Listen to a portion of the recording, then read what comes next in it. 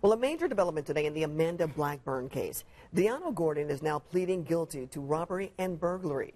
Amanda Blackburn was the pregnant wife of Indianapolis pastor Davey Blackburn. She was killed during a home robbery back in November of 2015. Now, under today's agreement, Gordon will have to cooperate in the case against Larry Taylor Jr., who's accused of pulling the trigger. Another suspect also took a plea agreement in return for testifying against Taylor.